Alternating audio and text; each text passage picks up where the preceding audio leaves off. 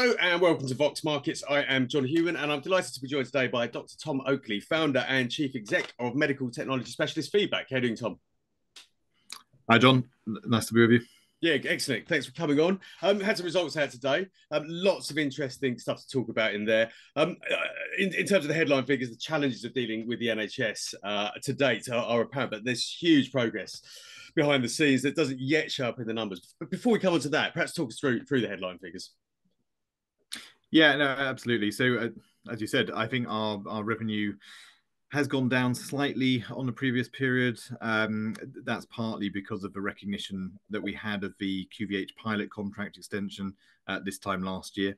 Um, so actually, not artificially um, not artificially low it also aligns with what we are expecting to see in the typical NHS um, procurement cycle. I think we've gone through this phase many times in our uh, recent history. Actually, the NHS makes most of its procurement decisions at the end of March and at the beginning of April. We we have seen a slight expansion of the uh, EBITDA loss. Um, 1.67 million this year versus uh, 1.23 million the, the same period, and that's both driven by that slight reduction in, in recognized revenue for the period, but also the fact that we have invested more in staff um, and that we are investing for the growth of the business, pending all the exciting opportunities that, that I'm sure we'll be discussing in a minute. Yeah, we, um, we, can discuss them now. Um, you know, lots of uh, lots of opportunities coming your way, um, and lots of progress post post period end. It seems. Um, I think the most, I, I guess, but from my perspective, the most interesting looking thing is the uh, the report from the All Party Parliamentary Group on, on, CDCs, which really feels like it's it's going to unlock a lot of opportunities for you. Perhaps, perhaps we can start by talking about that. Really, really sort of points to the uh, the value of your solutions. As a, perhaps, to start with, remind us what what Bleepa and CareLocker do uh, and why that's been recognised by the uh, the All Party Parliamentary Group.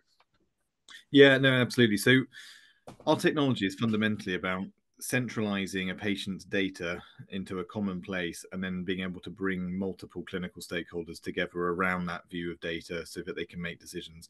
And what that means is that patients can attend anywhere for investigation and be treated by specialists in any location.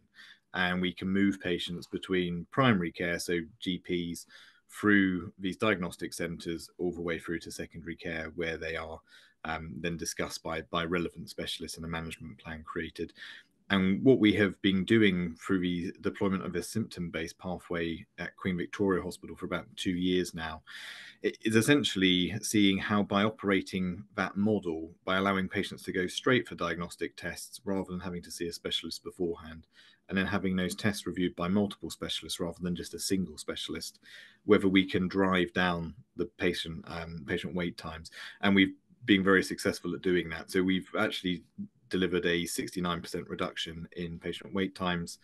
Um, we have seen a 88% reduction in the requirement for an outpatient appointment, which means that the patient doesn't have to physically go to hospital to see the clinician, and it means that the hospital, on average, is saving about 295 pounds per patient that's going through that pathway. So substantial savings for the NHS at scale. But perhaps one of the most impactful things is that we've delivered both a, a reduction in wait list and a reduction in outpatient requirement without actually needing any more clinical staff. Mm. And it won't have escaped anyone's notice that the big pressures facing the NHS at the minute are a growing wait list of almost 8 million patients now, um, a, a, big cash shortfall, and the fact that they can't really recruit in enough staff. So we are hitting all three of the key pain points for the NHS. And as you mentioned, the, the All Party Parliamentary Group for Diagnostics, we essentially presented these findings to the APPG. Um, that was back in June, and that led to a series of conversations with the national team, so the national CDC team at NHS England. Um, and over the course of a number of months, we actually uh, managed to persuade them to provide additional funding for us to expand the pilots to a couple of different sites to see if we could translate the work we've done at Queen Victoria Hospital to those locations. So they awarded us £300,000 worth of funding to do a pilot of a breathlessness pathway at Amersham, which is a, a, a single CDC site, and then a, a much larger um, financial package to then actually look at how we could do this at a regional level across Berkshire, Oxfordshire, and Buckinghamshire. And um, those pilots run until the end of March. And then we are hoping that they will either expand to further pilots or convert into contracts and um, we will update the market as soon as we know which way that that's looking to mm, go. Mm. Um, but it's a great use case for us to test the technology in, in other settings and to to prove that the the um, benefits translate. Yeah, yeah, absolutely. I mean, you know, the NHS has has been somewhat slow to adopt digital technologies, but it does feel like that, that such digital technologies are absolutely key to to improving the productivity of the NHS. You, you know, just it, it feels like we're at a tipping point. Would you agree with that? Uh, absolutely. Uh, I don't think there is another way out for them. And in fact, at the APPG session, what we were saying is that um, you've made a big capital investment in buildings and in staff, but actually, what you're generating are just standalone diagnostic tests. That doesn't actually result in the patient pathway accelerating. So, if you want to use CDCs to reduce wait lists, it's all about getting the diagnostic results under the nose of clinical stakeholders prompting them to look at them and make a decision off it. So we are all about converting from diagnostic test to clinical decision and getting their decision for the patient because that's that's really what gets the wait list down. Yeah. And therefore, the third pillar the NHS needs to invest in now is digital, yeah. and that's that's I think that message is resonating. Yeah, yeah, absolutely. Definitely, definitely feels like, and I guess you know, you know, as well as sort of waiting lists, you know, numbers, you know, these things we hear about. But I guess the ultimate aim is to to to you know patient outcomes, improve patient outcomes, save lives. Absolutely. Fundamentally, we know that thousands of patients are dying on waiting lists at the minute unnecessarily, and that also because of a delay in getting diagnostic tests, you're actually picking up diseases much later in their in their sort of path. And actually, we know with cancer, particularly the earlier you get to it, the better your chance of survival. So it's it's a double hit. Not only are you waiting to be diagnosed, but you're then also waiting to be treated. And actually, if you can, the power of what we offer is that we allow the clinicians to review those results remotely and to discuss them asynchronously. And what we mean by asynchronous is that rather than having a video call, which means you can do it across different um, geographies, you don't actually have to be together at the same time with Bleepa. This is chat based interaction. So you can contribute to this discussion in and around your other clinical work. You don't have to block out a Friday morning slot.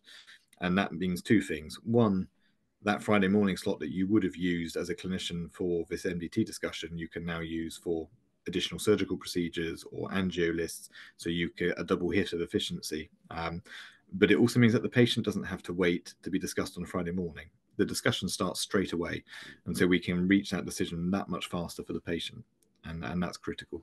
Yeah, yeah, absolutely. Um, I mean, the NHS is, uh, you know, obviously this is key to, to as we, we've talked about improving the productivity there, but but actually you're expanding outside of, of the NHS as well. I think you announced today uh, uh, your first deal in private healthcare with the medical imaging partnership. Can you talk us through that and, and its significance, and, and actually sort of how how it perhaps also reflects a tighter integration of private provision and, and the NHS provision? Yeah, absolutely. So this is all about can we bring that pathway efficiency model that we've developed in the NHS to private providers to help them to deliver better quality care to their patients at a lower price point? And that's that's fundamentally what we're we're looking to prove. Um, Medical Imaging Partnership, it, it, they're a very innovative provider. They're based in the southeast of England. Um, they are developing a series of straight to diagnostic pathways, initially with um, prostate screening, where you use MRI rather than a biopsy, um, which is obviously much better for patients. Um, and then also building out a series of gynae and cardiac pathways that we would look to support. So at the minute, we're entering a phase of evaluation where we're seeing how best to put those pathways onto the platform um, and deciding when best to launch that. But then when we go through to the formal pilot, that will be on a paid basis um, and they will cover the license costs for, for, for the platform. And uh, MIP, although they're very innovative, they're relatively small. But what it does do is prove a point that this pathway model can be adopted by the private sector. And therefore, we're also in conversations with larger providers in the private space and also some of the insurance providers that are looking to deliver those same benefits. I think it's worth saying that at the minute, with all the waitlists in the NHS, a lot of people are activating their health insurance policies, which of course somewhat breaks the insurance model, and therefore insurers are having to find more efficient ways of delivering the same care, which really creates an opportunity for us, given what we've demonstrated we can do in the NHS. And I think the, the, the other arm of this is the NHS, out of necessity, is also outsourcing a lot of this outpatient work to the private space. So, being able to prove that they could do that through a more efficient, more cost effective method by adopting a straight to diagnostic asynchronous pathway um, means that actually we may be able to outsource more NHS work to private providers if they can do it at a more effective price point and a, probably at a, at a lower tariff whilst maintaining their margins. Um, so there's two things we're really proving.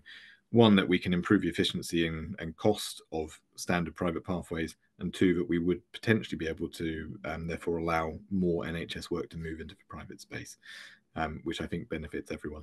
Yeah, indeed. Um, and uh, it opens up a big market opportunity as well. So, you know, across both the NHS and, and sort of provision of private healthcare in the UK, that, that adds up to a, a, a quite a chunky market. What, what, what sort of size are we looking at here? Well, um, our core opportunity around the CDC is in the order of about 96 million a year if we were to get all of the CDCs. Um, and there isn't really a technology that delivers what we do in this space. Um, so our positioning is quite unique in the market.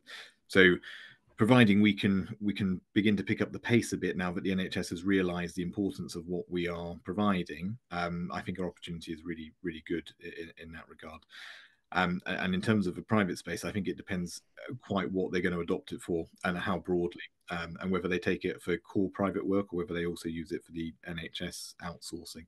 But again, uh, very sizable. Yeah. Um, also worth saying that if we can prove the value here for the UK insurers, then that also smooths the way to potentially look at opportunities over the Atlantic, um, where uh, most delivery is insurance based and also extremely expensive. Mm. So uh, our eyes are beginning to look at wider opportunities as well.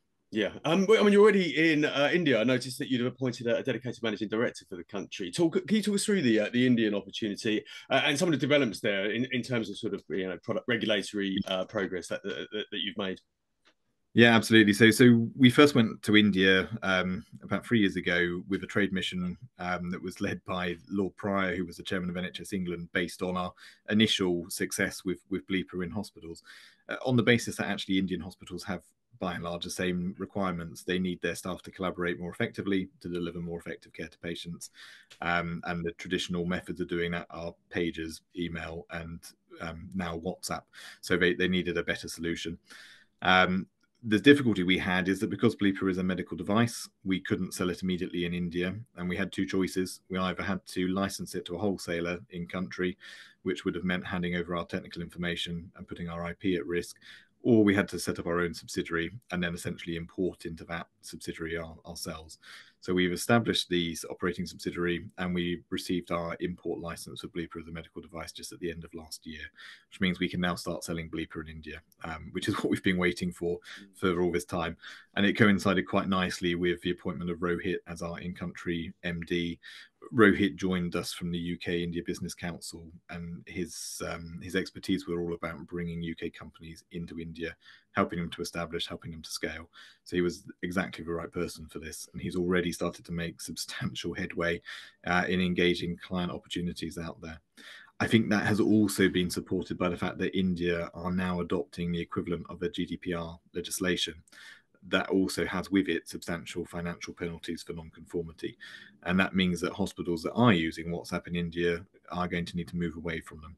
And I think particularly larger hospitals who may have um, 50 or so hospitals as part of a group, they are particularly exposed to the risk of this, which creates a really good opportunity for us. Yeah. I mean, India is so vast.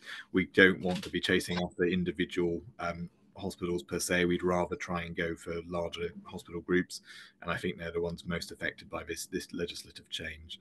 So um, near term opportunity there. Yep, and all the ingredients in place to, uh, to, to really go after that market. Uh, the other thing that struck me as very interesting was um, the uh, the opportunity for licensing your technology and, and generate royalty income. Can you, can you, talk us through exactly what's happening there? That I mean, licensing is, is obviously a very profitable side of, of the business if you get that right. Yeah, absolutely. So uh, certainly for our legacy products, um, and in particular Cadran, um, we already have a licensing agreement with Imaging Engineering in the United States, who really use this to upgrade a, a type of X-ray machine called fluoroscopy, and it allows them to convert that from an analog to a digital model, and means that rather than having to buy new equipment at quite high premiums, hospitals can just upgrade their old kit and essentially we license the Cadran component of, that as part of that upgrade, and we just collect the royalties. There's, there's no ongoing support requirement for it, so it's it is essentially just clear revenue for us, which is which is fantastic. Um, we are spotting some further opportunities to do similar things in other spaces, again, using Cadran as a, as a legacy product.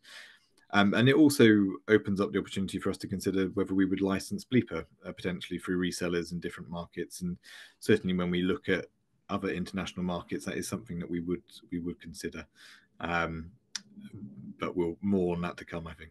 yeah, absolutely. No, well, it sounds like there's plenty more to come. Huge amounts of progress made uh, in, in, in the last six months. Uh, thank you so much for talking to us, Tom. No, thanks for the time. Thank you.